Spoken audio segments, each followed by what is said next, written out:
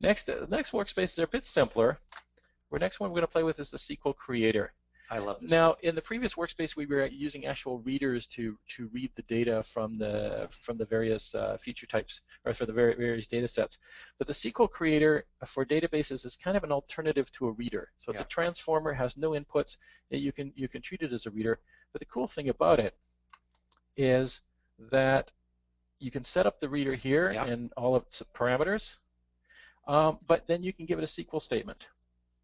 So in this case, I'm going to say select star from city parks where name is Big Walnut Creek and alternative name is Greenbelt. Okay. So we're, we're supplying the database a SQL statement and we're Yes. taking the results back and we're, we're, we're reading those results themselves. And uh, you know, I noticed right here on the left-hand side it says create publish parameter. This would be where if you wanted to prompt somebody at runtime for the name, you could basically double-click that, drag it in there, and now that puts a, a variable in there that would be filled in at runtime.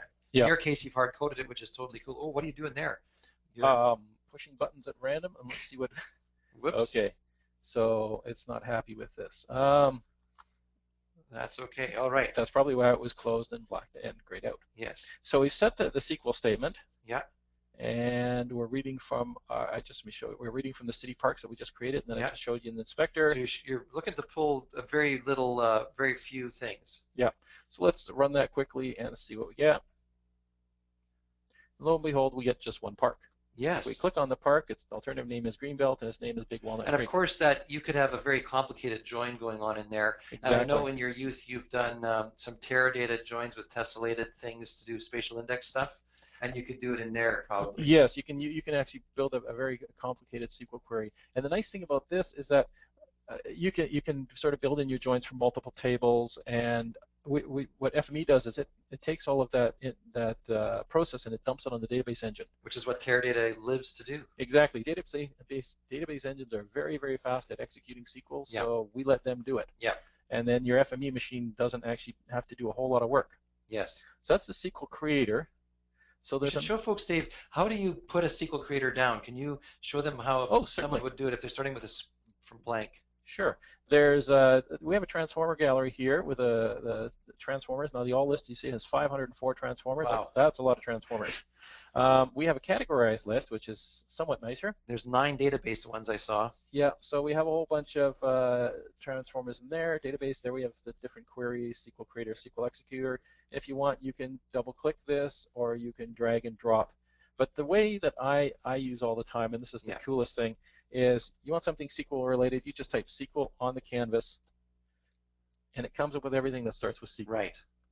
We can pick a SQL creator there, and really once you use this, you never go back to this Yeah, yeah. way. Yeah. And those of us in support, sometimes we have to use older versions of FME that didn't have this, and it, it, it, it's hard. Yeah. You just type once you know your handful of transformers that you use, you just type them and go. Yeah.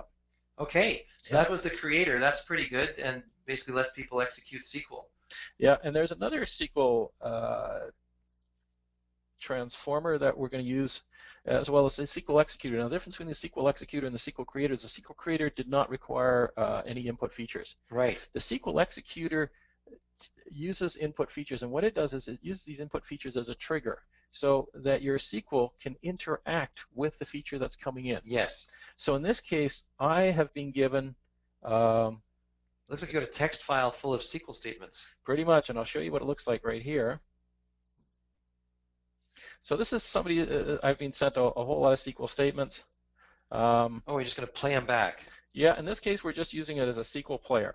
Right. So the whole, there's a create table, a whole lot of inserts, and then at the end, end which is kind of cool, creates this really funky view that has a really complex SQL to create. Got it. So what we're going to do is we're just going to read all these and feed them directly to the uh, the, the Teradata. So, So- well, yeah. Okay, so in the SQL executor, I've got the, the standard reader SQL, uh, the SQL reader here. Now, even though we're kind of writing uh, things to the the, Yes. the the the database, we use a SQL reader, or we, we use a database reader here Right. rather than a writer. It doesn't really know what, that we're up to wild Yeah. SQL. Yeah. So what it's it's doing is it's going to take the information from your from your from your input feature. It's going to send it to the reader, and then it's going to expect to get features back. And it's going to be surprised when it gets none, but it's not going to be too stressed. Yeah, it doesn't worry about it. So you can use this both for um, doing queries based on existing features. Say you have a, you have a, a feature that uh, has certain attributes, and you want a matching feature uh, in your database that has those attributes, or has some matching attributes, and you want to join them together. You can do that. Or in this case, if you just want to feed a bunch of housekeeping SQL to your database. Yes. Now, Which- normally you wouldn't be reading the whole SQL statement. Often you're gluing one together from various pieces inside of your database. But this is just a nice, simple example. Yeah, and, and you have options to this. And I mean, here I've just set to this attribute value. Yes. You can also open up an editor where you can pick the feature attributes, you can pick public Yeah. parameters, you can pick feature functions, you can actually build up your whole SQL statement uh, through here using all the, the, the information from various parts of. FME.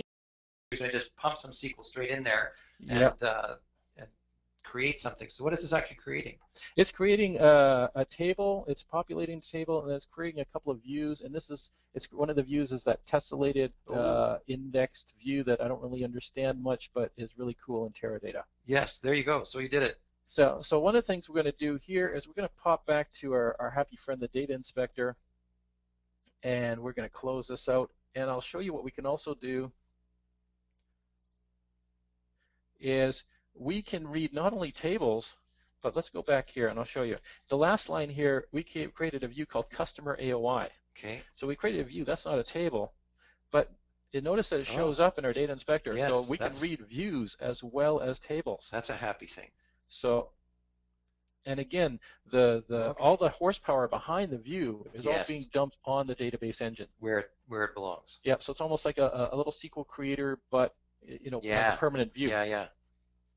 And again, we can read these points, and it's got the the attributes.